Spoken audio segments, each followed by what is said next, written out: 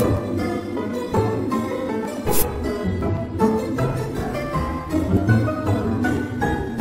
everyone, I'm Moody Boo the Fragrant Nomad, and I'm back with another single perfume review.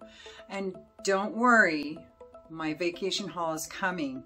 Two of the bottles that I ordered were on back order, and so I'm waiting for them to get restocked. They're going to be sent to me. I suspect everything will be here beginning of next week, end of next week, somewhere in there. So either the next video I post is going to be my full perfume vacation haul or it'll be the one after that. I just don't know. So um, anyway, but I'm continuing on because I have a hearth full of perfumes to review. And this one had been requested a while back that when I showed my haul, somebody was like, oh, I'd love to hear about this one. And I always planned on reviewing this one because it's gorge, gorge. This is Milano Fragranze and this is Panettone. Panettone? I'm assuming, I think with the romantic languages, don't when there's an E at the end, don't they pronounce the E? So it wouldn't be Panettone, it'd be Panettone? I'm going with it. So somebody from Italy can always correct me. This one I got in the haul prior to my vacation haul. And um, I had sampled it first. This was not a blind buy. But what? This is going to be the perfect holiday scent. I know this is a weird time of year for me to be reviewing it, but here's my thoughts. Where I'm from, the PNW, the Pacific Northwest, summer started late here. So um, we're just starting to get into the warm weather. And we're going to blink and summer's going to be over and fall is going to be coming. The days are already getting shorter, folks. Winter or summer solstice has already happened. So now the days are getting shorter. So fall is around the corner, which means the holiday season is also around the corner, which means you need to start preparing for your perfume list of fragrances you're going to wear on the holiday season. And this is one I'd highly recommend. Now, when I first sprayed it, the first time I've worn, well, for still, I, I still get the same impression when I first spray it, just the first five minutes or so. And it's not going to sound very appealing when I say it, but you gotta, you gotta delve deeper into what I'm saying. So when I first spray it to me, it smells like fresh baked fruitcake. So I know everybody hates fruitcake, but they hate it to eat it. Have you ever, my grandmother used to make it, and she didn't make it with those jellied candy crap. She'd make it without actual cooked apples and um, nuts and dates and things like that in it. And it was this gingery, dark kind of bread, um, almost a cake between a cake and a bread. And I know most fruit cakes are horrible. Um, that, that candy jellied fruit stuff in there just ruins it for me. It's a texture thing along with a taste thing. But even those, when they're being baked, smell really good. It's the spices, it's the bread, it's the ginger that's in there, the molasses or whatever, honey. This smells like fresh baked or baking fruitcake. That's about the first five minutes. That doesn't last too long, but it doesn't go away. It just, other additions come into play and join the party. So the next stage for me is fresh baked fruit cake and flat Coca-Cola. It doesn't have to be Coke, it could be Pepsi, but a cola and a flat one. Why I say flat? Because there's no effervescence to it at all. So if anybody's ever truly smelled uh, uh, a flat, warm cola of some kind. I don't think it really matters, as long as it's not diet. You'll know what I'm talking about. There's a smell. It's sweet, it's spicy, but it doesn't have the same smell as when it's cold and bubbly. And so to me, it's a combination of fresh baked fruitcake and flat cola. I know that doesn't sound very good, but it's really good. And it truly reminds me of Christmas and Thanksgiving. Even though we don't really eat fruitcake at our house anymore. My grandmother passed away Chi Chi is long gone, and so no Chi Chi and no fruitcake. So we haven't had any in, well, it's been over a decade since she passed. So, um, but I still remember. I, and I'll tell you, this this this got me a little sentimental. I missed the Cheech quite a bit. She was a hell of a woman. You kind of want to know what's in it, huh? And I'm going off of Lucky Scents. Now I'm going to tell you what Fragrantica, um, people that have tried this, what they think is the most prominent notes, and then I'm going to tell you what I think. So it's bitter orange, mandarin, ginger, carrot seeds, davana, rum, everlasting flower absolute, tajit seeds, vanilla absolute, and vinyl guaiacol. No clue what that is, but um, Tajits is kind of this spicy note. Everlasting flower is the same as Immortal, if I'm not mistaken about that. Kind of has a, a, a tobacco-y, hay kind of um, grainy, really, it's a wonderful smell. I love that note.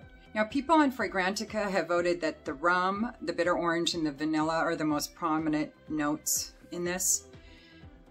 Not for me. Not for me at all. You definitely get the fruits. Again, fruitcake. Um, but those kind of come back. The ginger is really prominent, not Ani by Nishane kind of prominent, but it's prominent. But it mixes with the tajits and the rum and the bitter orange, and it just makes this really decadent kind of a spicy, desserty, fruity kind of an aroma. And for me, the rum is really a backseat driver that nobody listens to. So um, it, it really wants to drive, but everybody in the front, to me, the ginger and the tajits and the vanilla and the bitter orange are all saying, yeah, no, shut the hell up. You're in the back seat for a reason. We're in control. So I, I, that's my impression anyway. Now, it doesn't have a big trajectory. When in the very, very deep dry down, I think a little more of that immortal comes out. The Tajit is still there. It gives it that spicy, kind of that Christmas spice kind of a, a feel to it. The rum just adds this kind of heat to it that mixes so well, I think, with the spicy Tajits and some of those other notes, that that's why I can't pull it out. And it's really well blended. But I cannot distinguish it between the rest. And I don't think of a cocktail when I smell this at all. I definitely think of a food.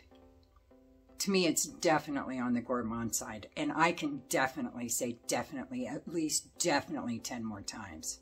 Now in the deep dry down, it goes to more of a plum pudding kind of a, an aroma for me.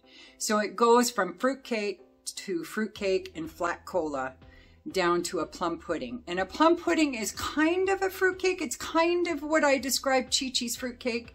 Um, it's got all that rich, decadent, um, dark kind of breads in there with the ginger and the molasses and and it's got some uh, dates and things like that in it and some nuts. Um, but it also has this kind of sweet buttery caramel dressing or a sauce that is poured over the top of it. And this kind of reminds me of that with just, it's, it's almost like you're eating the plum pudding. You've just eaten all of the caramel sauce off the top and there's just a hint of remnants of that caramel sauce left and you're digging into the plum pudding, warm plum pudding. All of these foods are warm.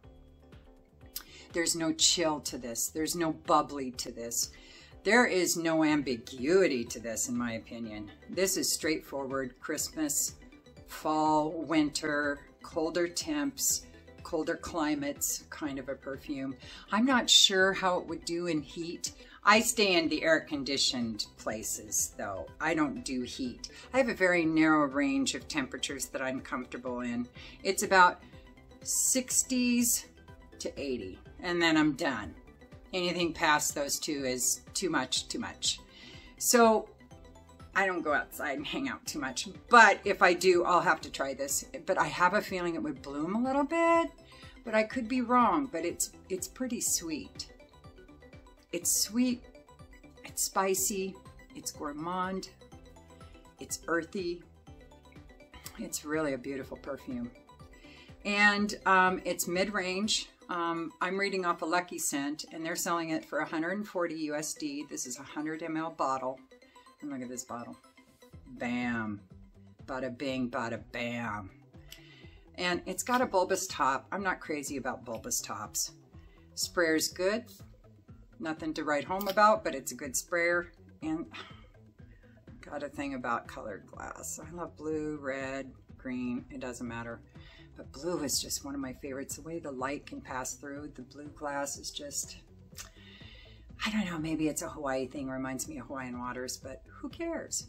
So um, the performance is really good for me. I get eight to 10 hours off, off of two to three sprays. Um, it projects well past arm's length for a good fur, fur, for a good hour or two, maybe? No, maybe an hour. And then it comes in about arm's length. And then it might come in a little bit, but it's one of those poofers for me. It doesn't become a skin scent and then, you know, it's gone. It just, again, I'm smelling it, smelling it, I detect it, and then I'll suddenly realize I don't smell it anymore and I'll go to smell it where I sprayed it and it's gone. But like I said, that's like hour nine, ten, something like that. So it's well worth the money to me. And if you're into Christmas kind of scents or you're looking for something to check out for Christmas, you should really check this one out. It's intense though. This isn't one I would consider a signature scent. Not just because it's pretty year specific, you know, what time of year you can wear it. It's very unisex. Um, but it's more because it's super intense. The smell itself is intense to me. And I think that sweetness, I think if I wore this too often, it'd be, it'd go the way of Ani by Nishane. It'd just be too much for me and I'd have to put it away for a while. So now that I'm done testing it and everything, I probably will put it away until this fall um, or winter and then I'll bring it back out again because I don't want to get tired of it because it is pretty sweet, pretty intense, a very specific kind of an aroma in my opinion. But I do love it. I really do love it. Anyway, Panettone by Milano Fragranze. All right, I guess that's it from, oh, that was loud. I guess that's it for me. I'll be back soon with that, that vacation haul. It's crazy. I, I don't remember how many bottles I have in total because like I said, they haven't all come in. Um, but I'm pretty sure I'm at 25, 26, something like that. So, and they're good ones. Can't wait to share them with you. So don't forget to like and subscribe and ring the bell and comment if you want. If you don't, it's all good.